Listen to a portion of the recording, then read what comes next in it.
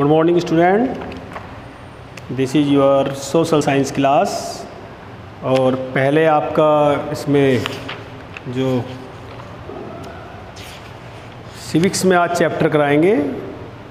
पहले ज्योग्राफी में आपका चैप्टर हुआ था वर्ल्ड रिसोर्सिस आज सिविक्स का चैप्टर है chapter first the Indian constitutions secularism and fundamental rights and duties भारतीय संविधान के बारे में। Indian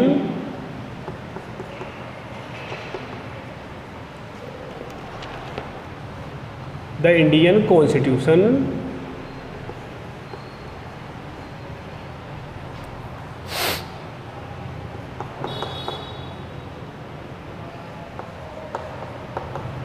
the Indian constitution भारतीय संविधान सेकुलरिज्म पंथ धर्मनिरपेक्ष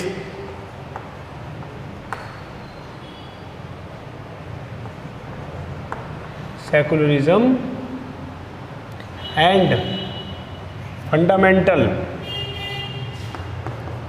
जो हमारे मौलिक अधिकार है fundamental right rights and duties and duties देखिए, ये आपका सिविक्स का फ़र्स्ट चैप्टर है। द इंडियन कॉन्स्टिट्यूशन, भारतीय संविधान, धर्मनिरपेक्ष, मौलिक अधिकार और हमारे कर्तव्य। इसके बारे में आपको बता रहे सबसे पहले देखिए, हम कॉन्स्टिट्यूशन के बारे में जानेंगे, कॉन्स्टिट्यूशन है क्या। What is the constitution what is the constitution means संविधान। हमारे देश की शासन व्यवस्था जो चलती है, वो संविधान के अंतर्गत ही चलती है। देखिए लाइक एनी गेम जैसे कोई हम गेम खेलते हैं, कोई उसमें अगर समाज में कोई गेम है, उसमें कुछ रूल्स होते हैं, उन रूल्स को बनाया जाता है, वो अलग अलग लोगों के लिए अलग अलग तरह से होते हैं। तो ऐसे ही समाज में, भारतीय समाज जो है, एक बड़ा समाज है, यहाँ पर अलग अलग धर्म के, जाति के लोग रहते हैं। उन सबको देखते हुए, उन सब के हितों को ध्यान में रखते हुए इंडियन कॉन्स्टिट्यूशन का निर्माण किया गया, जो कि रिटर्न में है। A written document in which we find such rules is called a constitution ऐसे नियम जो सभी लोगों के हित के लिए बनाए गए हैं और जिससे देश की शासन व्यवस्था का निर्माण होता है देश की शासन व्यवस्था चलाई जाती है। इस तरह के सिस्टम को हम क्या बोलते हैं? कॉन्स्टिट्यूशंस बोलते हैं, संविधान कहते हैं। देखिए, संविधान के गठन क्यों हुआ था? संविधान क्यों बनाया गया? Reason to have a constitution संविधान बनाने के पीछे संविधान का गठन जो हुआ था निर्माण करने के पीछे क्या रीज़न थे? ये बताना है। देखिए, इसमें there are seven reason why it is good for at country to have a constitution देखिए, किसी भी डेमोक्रेटिक कंट्री में, लोकतंत्र सरकार में संविधान का होना ज़रूरी है। संविधान का मतलब है एक ऐसे नियम कानून जिसके अंतर्गत देश की शासन व्यवस्था को चलाया जाता है। इसके गठन की आवश्यकता क्यों पड़ी? क्या रीजन थे? इसमें देखिए, पहला तो है first the constitution lays out certain ideals that from the basic of the kind of society that is citizens aspire to live in put another way like an agreement on certain ideals and values that all believe the country should uphold देखो, सबसे पहले देखो, जो constitution का निर्माण किया गया, इसमें ऐसी विचारधाराओं का निर्माण किया गया, जिसमें सभी लोगों की, सभी नागरिकों की आकांक्षाएँ थी और एक तरह से एक ऐसा एग्रीमेंट था, एक ऐसा समझौता था विचारों का, जहाँ पर सभी विचारों को समावेश किया गया, सभी के विचारों को लिया गया। देखिए, भारतीय संविधान का जो निर्माण हुआ, उसे लगभग निर्माण करने में लगभग तीन वर्ष लगे थे। हमारा जो देश का जो संविधान है, विश्व का सबसे बड़ा लिखित कॉन्स्टिट्यूशन है। इसे बनाने में लगभग तीन वर्ष लगे थे। और इसे जब लागू किया गया था 26 जनवरी को लागू किया गया था, इसीलिए हम 26 जनवरी को गणतंत्र के रूप में मनाते हैं। तो जब ला, काफ़ी लंबी समय क्यों लगा इसमें? क्योंकि हमारे यहाँ देश में बहुत सारे धर्म, जाति, मज़हब के लोग रहते हैं। अलग अलग जाति के हैं, धर्म के हैं।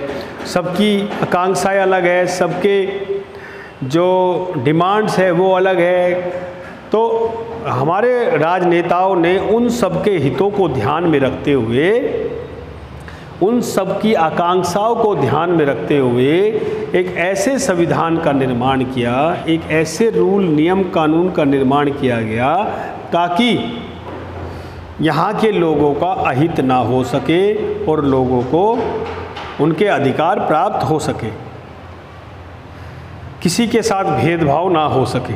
सेकेंड है the importance purpose is to be define the nature of a country political system दूसरा पर्पज ये था इसे बनाने का कि जो यहाँ का देश की जो राजनीतिक सिस्टम था, यहाँ का जो राजनीतिक सिस्टम था वट टाइप ऑफ़ गवर्नमेंट किस तरह की यहाँ की सरकार रहेगी it it define the powers इसने सरकार की शक्तियों के बारे में भी बताया कि सरकार की शक्तियाँ क्या होनी चाहिए। सरकार के पास जो शक्तियाँ है, उस शक्ति का वो दुरुपयोग ना कर सके मिसयूज ना कर सके। देखिए, अगर संविधान ना हो देश में कॉन्स्टिट्यूशन ना हो तो सरकार अपनी मनमानी चलाएगी।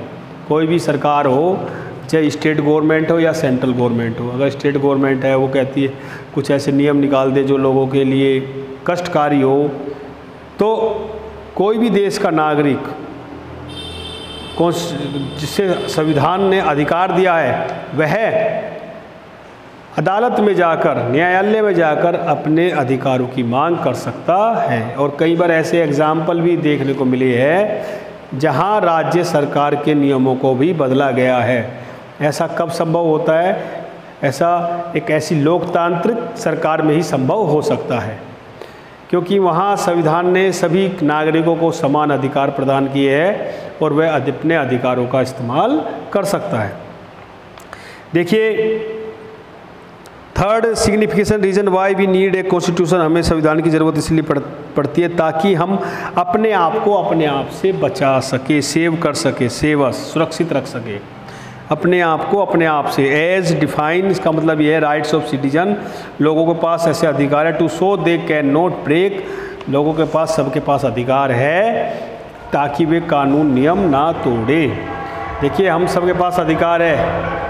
सड़क पर चलने का। लेकिन हमारा अधिकार के साथ हमारी क्या जुड़ी हुई है? हमारे राइट्स के साथ साथ हमारी ड्यूटीज़ भी है। हमें अधिकार है सड़क पर चलने का, लेकिन हमारा कर्तव्य भी है कि हमें जब हम सड़क पर चले तो किसी को बाधा ना पहुँचे। हमारा अधिकार है म्यूज़िक सुनने का, लेकिन हमारा कर्तव्य भी है कि हम म्यूज़िक इस तरह से सुने ताकि दूसरे की भावनाओं को ठेस ना पहुँचे, दूसरा उससे डिस्टर्ब ना हो। तो इसीलिए कहा है कि जो संविधान जो है कॉन्स्टिट्यूशन जो बनाया गया है, वो इसलिए है ताकि जो नागरिक है, वो कानून का दुरुपयोग ना कर सके और दूसरों की भावनाओं को ठेस ना पहुँचा सके। देखिए, ये तो है, संविधान का गठन क्यों ज़रूरी था? इसके बाद है जो Indian constitution vision and values जो विज़न एंड वैल्यूज़ जो इंडियन कॉन्स्टिट्यूशन की, वो देखिए 22 जनवरी 1947 में कॉन्स्टिट्यूशन असेंबली ने अडोप्ट किया था इसको। यानी बंद तो गया था नवंबर में, लेकिन फिर इसको जो घोषित किया गया, जो लागू किया गया, वो 22 जनवरी 1947 यानी 22 जनवरी में इसको घोषित किया गया था। और लागू किया गया था। बाद में इसको 26 जनवरी को वहाँ सेट वो कर दिया गया और तभी से गणतंत्र दिवस को मनाते हैं हर साल। कॉन्स्टिट्यूशन असेंबली ने इसको अडेप्ट किया था। इसके बाद देखिए these are stated in the preamble जब संविधान, हमारा जो संविधान है, वो रिटर्न में है, एक बहुत बड़ी पुस्तक के रूप में है, जो काफ़ी बड़ी है और लिखित में है। सारे जो नियम, कानून हैं कि अगर आप नियम का पालन नहीं करते तो आपके साथ क्या किया जाएगा? कोई राज्य सरकार अपना कर्तव्य पूरा नहीं करती तो उसके खिलाफ क्या किया जा सकता है? केंद्र सरकार के भी उसमें दायित्व है, राज्य सरकार के भी है, नागरिकों को भी है। जुडिशरी सभी के सब चीज़ का उसमें लिखित रूप से, रिटर्न रूप से लिखा हुआ है। तो सबसे पहले उसकी प्रिम्बल है प्रस्तावना। प्रिम्बल क्या होती है? जो संविधान की जब स्टार्टिंग ही जैसे संविधान को हम पढ़ते हैं तो सबसे पहले प्रिम्बल आती है, प्रस्तावना आती है। एक जैसे हम बुक्स खोलते हैं ना बुक्स खोलने से पहले कंटेस्ट आ जाता है कि कौन सा पेज कहाँ है, इस तरह से। तो ऐसे ही जो संविधान को जैसे ही स्टार्ट करते हैं पढ़ना तो उसमें सबसे पहले प्रिम्बल आती है प्रस्तावना। हम भारत के लोग प्रिम्बल देखिए इसमें दी हुई है बुक में we the people of India हम भारत के लोग। रिसोल्व द कॉन्स्टिट्यूशन संविधान के अंतर्गत प्रभु संपन्नता, सोशलिस्ट, समाजवादी धर्मनिरपेक्ष, लोकतांत्रिक गणराज्य की स्थापना करेंगे। इसमें न्याय है, समानता है, स्वतंत्रता है और इसमें पूरा दिया हुआ है कि हम स्वतंत्रता के अधीन रहकर लोग काम करेंगे और राष्ट्र की उन्नति के लिए हम हमेशा काम करेंगे। The preamble reflect the vision and the aims of the founding father of Indian constitution the preamble जो है, जो इसकी प्रस्तावना है, ये रिफ्लेक्ट करती है विज़न ये जो विज़न का मतलब होता है, जो हम आगे फ्यूचर में करने वाले हैं, उसको दर्शाती है, हमारे लक्ष्य को दर्शाती है फादर ऑफ़ इंडियन कॉन्स्टिट्यूशन एक तरह से इसे क्या हमारा फाउंडिंग इसे पाया गया ये भारत के संविधान का एक पिता के रूप में माना गया है प्रिम्बल को। इवन तो हालाँकि इट कैन बी इम्फोर्स हालाँकि इसे कानून के द्वारा लागू नहीं किया जा सकता कि कई कानून बना दे। भाई, यहाँ से लागू करो, यह नहीं संभव है। It is an important document ये एक महत्वपूर्ण दस्तावेज़ है। Because it states the goal क्योंकि इसमें जो हमारे लक्ष्य है बिफोर द नेशन राष्ट्र के प्रति और गाइड्स द पॉलिसी मेकर्स और जो हम आगे हमें फ्यूचर में क्या करना है? गाइड मार्गदर्शन के रूप में जो पॉलिसीज़ है, जो पॉलिसीज़ बनाने वाले होते हैं देश में, वो सब प्रिम जो हमारे कॉन्स्टिट्यूशन है कॉन्स्टिट्यूशन से ही अडोप्ट करते हैं और उसी के अकॉर्डिंग देश को चलाया जाता है। All laws the of country must afford the basic values जितने भी नियम कानून होते हैं देश के बेसिक वैल्यूज़ जैसे कि the preamble a law that is against the spirit of the constitution avoid now let's try आओ, अब हम समझने की कोशिश करते हैं, आदर्शों को समझने की करते कुछ आदर्श बताए हुए हैं जो यूज़ इन प्रिम्बल जो हमारे इसमें, जो प्रस्तावना है, इसमें शामिल किया गया है इन चीज़ों को टू अंडरस्टैंड और हम उसको समझेंगे, उसकी वैल्यूज़ को समझेंगे are upheld by our constitution देखिए, सबसे पहला है डेमोक्रेटिक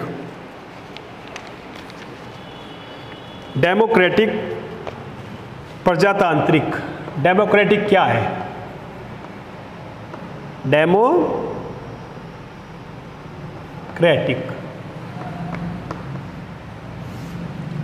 प्रजा प्रजातांत्रिक।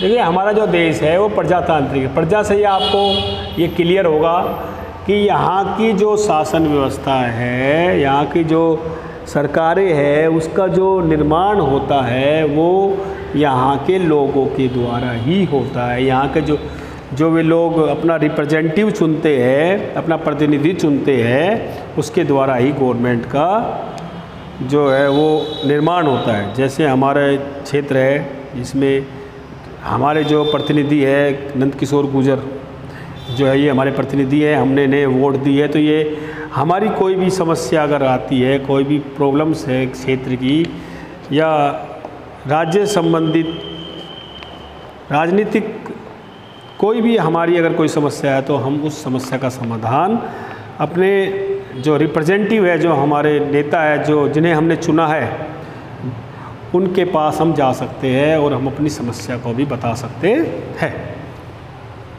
तो डेमोक्रेटिक में जो है the people of India participate जो लोग होते हैं, भारत के जो लोग हैं, वो इन गवर्नेंस वो सरकार में भाग लेते हैं थ्रू रिप्रेजेंटेटिव रिप्रेजेंटेटिव के थ्रू देखिए, भारत का हर नागरिक,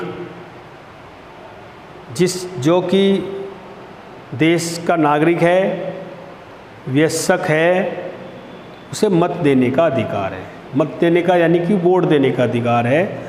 उसके द्वारा ही सरकार का चुनाव किया जाता है। लेकिन वो सीधे पार्टिसिपेट तो करता है। भारत का प्रत्येक नागरिक जो है, वो पार्टिसिपेट तो करता है पॉलिटिकल एक्टिविटीज़ में, लेकिन वो डायरेक्ट नहीं करता। अब ये थोड़ा ना कि अगर आपकी कोई समस्या, आप सीधे वहाँ संसद में या लोकसभा या राज्यसभा में पहुँच जाओगे, वहाँ जाके। नहीं, आपने जो एक मेंबर चुना है, जो अपने क्षेत्र का जो एमएलए एमपी जो चुना है आपने, वो आपकी समस्या, आपकी जो बात है, उसे वह ही लोकसभा राज्यसभा तक पहुंचाते हैं।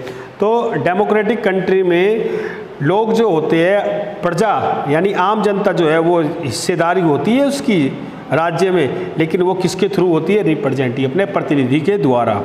जिसको हम चुनते हैं adult population of the country किससे कौन चुनती है? एडल्ट पॉपुलेशन यानी व्यस्क व्यक्ति चुनते हैं, जो 18 वर्ष से ऊपर होता है, जिसे वोट देने का अधिकार होता है, वो व्यक्ति अपना रिप्रेजेंटेटिव चुनता है।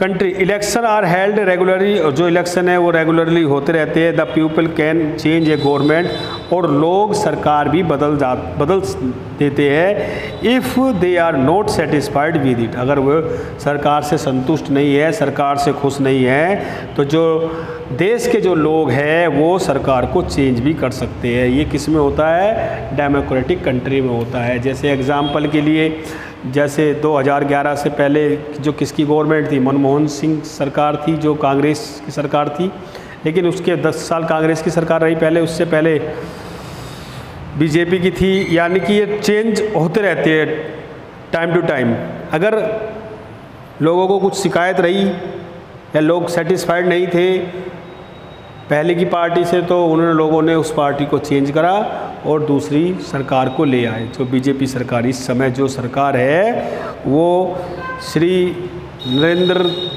दामोदर दास मोदी जी, जो हमारे प्रधानमंत्री, ये माननीय प्रधानमंत्री, उनके लीडरशिप में अब देश को हम आगे बढ़ा रहे हैं। पहले डॉक्टर मनमोहन सिंह जी थे, वो कांग्रेस के थे अब जो सरकार है वो दूसरी है। ये कैसे संभव हुआ? अगर यहाँ डेमोक्रेटिक ना होता, लोकतांत्रिक सरकार ना होती तो इट इज़ नॉट पॉसिबल तो वही रहते, एक ही नेता रहता, एक राजा का बेटा, राजा राजा का बेटा, फिर उसका बेटा, फिर उसका बेटा, इस तरह चलता रहता है जैसे पहले चलता था। बट अब ऐसा नहीं है। अब जो है, हमारा जो देश है, वो डेमोक्रेटिक है, लोकतांत्रिक है। यहाँ लोग लोग अपने रिप्रेजेंटेटिव के द्वारा, अपने प्रतिनिधि के द्वारा शासन प्रणाली में भाग लेते हैं। इसके बाद आ जाता है आपका रिपब्लिक। देखिए, ये गणतंत्र। प्रजातंत्र और गणतंत्र में बच्चे कई बार कंफ्यूज हो जाते हैं, लेकिन दोनों ही एक दूसरे से रिलेटेड है। सेकेंड है आपका रिपब्लिक। रिपब्लिक डे मनता है ना, हर साल 26 जनवरी को। गणतंत्र। गणतंत्र। देखिए, अब हम रिपब्लिक के बारे में समझ लेते हैं। अभी हमने डेमोक्रेटिक के बारे समझा और अब हम रिपब्लिक के बारे में समझते हैं। द कॉन्स्टिट्यूशन ऑफ़ इंडिया, भारतीय संविधान ने प्रदान किए for an elected head of state.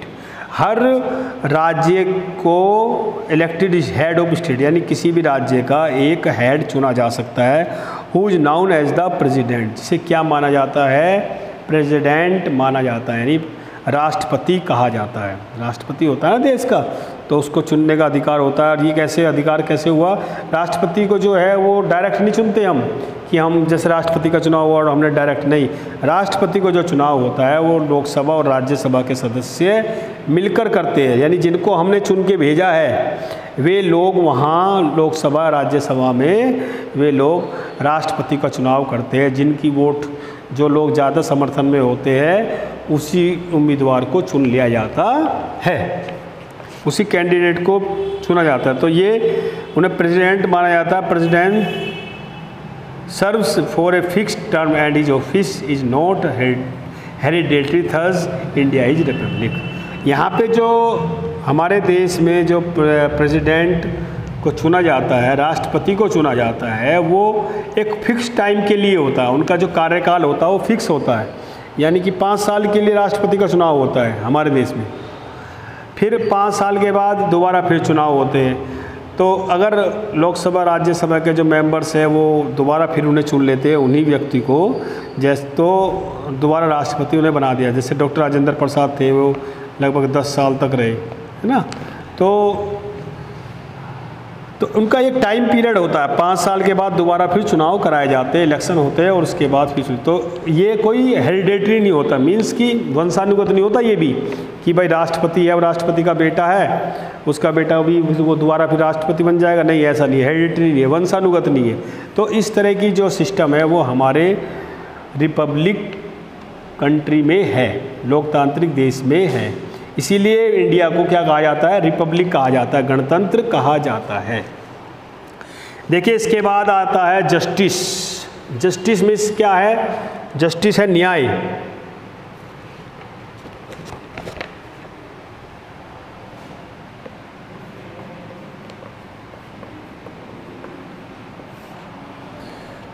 जो मेन मेन चीज़ें, जो संविधान ने हमें कॉन्स्टिट्यूशन ने हमें दी है, अब आता है न्याय। देखिए, न्याय के बारे में पढ़ेंगे। The framers of our constitution, जो संविधान को बनाने वाले फ्रेमर्स, यानी संविधान को जो निर्माता कर निर्माण करने वाले थे, जिन्होंने निर्माण किया था, वे चाहते थे टू बिल्ड ए सोसाइटी की ऐसे समाज की स्थापना कीजिए, ऐसे समाज बनाया जाए to in which every one gets justice जहाँ पर सब, जहाँ पर सभी को न्याय मिल सके। फेयर ट्रीटमेंट यानी अच्छा इलाज बोलते, यानी कि सबको समान रूप से न्याय मिल सके।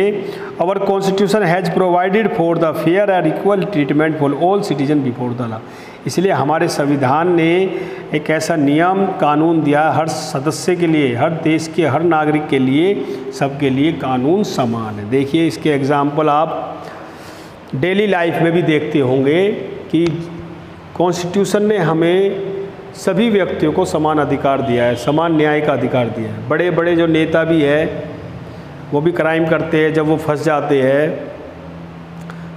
पैसे में, हर चीज़ में पावर में बहुत आगे होते हैं। अब इसका एग्ज़ाम्पल है हमारे जो है, ये तुम्हारा जो बिहार के मुख्यमंत्री थे लालू प्रसाद यादव, जो चारा घोटाला में फंस गए थे, चारा घोटाले में उनका नाम आया था, वो आज भी जेल में है। मुख्यमंत्री रहे, और एक मुख्यमंत्री का पद, एक बहुत बड़ा पद होता है राज्य में लेकिन कानून से बढ़ के किसी का कोई पद नहीं होता। जो हमारा जो संविधान है कॉन्स्टिट्यूशन ने यह अधिकार दिया है कि न्याय सबके लिए बराबर है।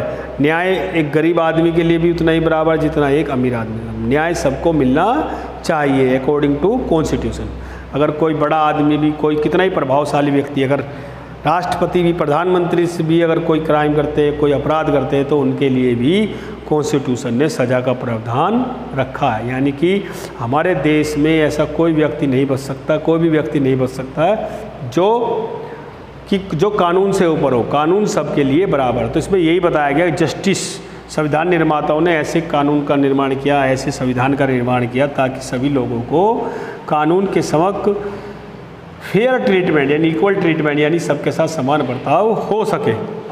Also seek to ensure economic and social justice by reducing inequality of wealth and social संविधान ने यह भी कहा है, ये भी इंश्योर किया है कि कोई आर्थिक रूप से या सामाजिक रूप से भी इनइक्वलिटी नहीं आनी चाहिए। पैसे के रूप में असमानता नहीं होनी चाहिए। ये नहीं कि भाई मान लीजिए, एक आदमी बहुत पैसे वाला है, एक आदमी गरीब है तो जो पैसे वाला है, ऐसे कुछ केसेस होते हैं, मैं मानता हूँ कि ऐसे चीज़ें हैं समाज में, लेकिन कॉन्स्टिट्यूशन के अकॉर्डिंग अगर हम देखें तो कोई अमीर आदमी हो या गरीब हो, दोनों को ही समान रूप से न्याय मिलेगा। उसमें ये नहीं देखा जाता कि वो इकोनॉमिक रूप से ज़्यादा पावरफुल है। ये मैं एग्ज़ाम्पल आपको बता ही चुका हूँ। पैसे में चाहे कोई कितना ही ज़्यादा समृद्धशाली है, लेकिन कानून के सामने वो छोटा ही है। ऐसे बहुत आप देखते भी हो, आए दिन कुछ ना कुछ सज़ा मिलती रहती है लोगों को जो गलत करता है। To achieve this the constitution has provision for giving extra help कुछ, देखिए संविधान ने उन लोगों के लिए कुछ हेल्प भी दी है फैसिलिटी दी है उन लोगों के लिए जो समाज में कमज़ोर वर्ग के है। For example to improve the social and economic ताकि उनको भी समाज में आर्थिक और सामाजिक रूप से उनकी स्थिति में बदलाव किया जा सके। अनटचेबल्स जिनको अछूत समझा जाता है, schedule caste S C S C S T O B C other backward classes constitution allows reservation to be made for this group jobs educational institutions etcetera देखिए, संविधान ने उन लोगों को, समाज में जो लोग गरीब तबके के थे, कमज़ोर, इकोनॉमिक रूप से कमज़ोर थे आर्थिक रूप से कमज़ोर थे, जो उनके लिए गवर्नमेंट ने S C S T O B C जिन्हें एक विशेष वर्ग में रखा गया है, उनके लिए रिजर्वेशन की व्यवस्था की है। उसमें जॉब में उन्हें छूट मिलती है, एजुकेशन में, शिक्षा में और शिक्षा में, शैक्षिक संस्थानों में भी उनके लिए कुछ छूट दी जाती है ताकि समाज में उनको बराबरी का हक दिया जा सके। इसके बाद देखिए, और कॉन्स्टिट्यूशन प्रमोट लिबर्टी हमारा संविधान हमें स्वतंत्रता, समानता भाईचारा, ये सब अधिकार प्रदान करता है बिकॉज़ दीज आर एसेशनल क्योंकि ये बहुत ज़रूरी है बिल्डिंग ए जस्ट सोसाइटी एक समाज का निर्माण करने के लिए इनका होना बहुत ज़रूरी है। अगर स्वतंत्रता, समानता, भाईचारा नहीं होगा तो समाज का गठन सही प्रकार से नहीं हो सकता। इसके बाद आते हैं लिबर्टी लिबर्टी मीन्स स्वतंत्रता। अभी मैंने आपको न्याय के बारे में बताया था जस्टिस के बारे में, इसके बाद आता है लिबर्टी लिबर्टी क्या है? ये टॉपिक क्लियर करते हैं। द सिटीजन ऑफ़ इंडिया भारतीय जो नागरिक है citizen of India have been given the liberty to express their opinion freely constitution ने constitution has given us all citizen of the peoples देश के सभी नागरिकों को संविधान ने न्याय के साथ साथ लिबर्टी भी दी है। लिबर्टी किस तरह की दी है? लिबर्टी टू एक्सप्रेस, अपने जो हमारी राय है, ओपिनियन है, उसे हम आज़ादी के साथ अपनी भावनाओं को, स्वतंत्रता के साथ बिना किसी दबाव के हम उसको व्यक्त कर सके। To follow their own believe and to choose their own profession. हम अपनी विचारधारा, हमारे जो विचार है, उसे अपने तरीके से चूज़ कर सकते हैं और हम अपने ही तरीके का, अपने जो हमने चूज़ किया प्रोफेशन उस प्रोफेशन को हम चुन सकते हैं। देखिए संविधान अगर कॉन्स्टिट्यूशन ना होता, संविधान हमें इस तरह के अधिकार ना देता तो फिर जो सास जो समाज में व्यवस्था फैल जाती तो सभी को न्याय का अधिकार है और स्वतंत्रता का अधिकार है। मैंने आपको पहले ही बताया था, जो हमें राइट्स मिले हुए हैं राइट्स के साथ साथ हमारे क्या भी है, हमारी ड्यूटीज़ भी जुड़ी हुई है। हमें राइट्स है लिबर्टी का, अधिकार तो है हमें हमें अधिकार है कि भाई, चलो हम कुछ भी कहीं भी घूम फिर सके हम कोई भी प्रोफेशन चूज़ कर सके, लेकिन प्रोफेशन ऐसा होना चाहिए जो दूस, हमारी ऐसी ड्यूटीज़ होनी चाहिए कि वो दूसरों का अहित ना करें। ये नहीं है कि हमें भाई कुछ भी काम करने का अधिकार तो इसका मतलब ये नहीं है कि हम हथियारों की स्मगलिंग करनी शुरू कर दें, उल्टे सीधे काम करने शुरू कर दें। इससे क्या होगा, हम इससे देश को देश का नुकसान करेंगे हम। है ना? देश को तरक्की की राह पे नहीं ले जा सकते, इसीलिए हमें इस तरह का कार्य करना चाहिए ताकि हम देश की प्रोग्रेस कर सकें। देखिए, यहाँ तक आपका लिबर्टी तक मैंने ये करा दिया है। नेक्स्ट क्लास में आपका जो अगले टॉपिक है people power of the people sovereign socialist ये आगे आपको कराया जाएगा। और आज के लिए इतना ही। Thank you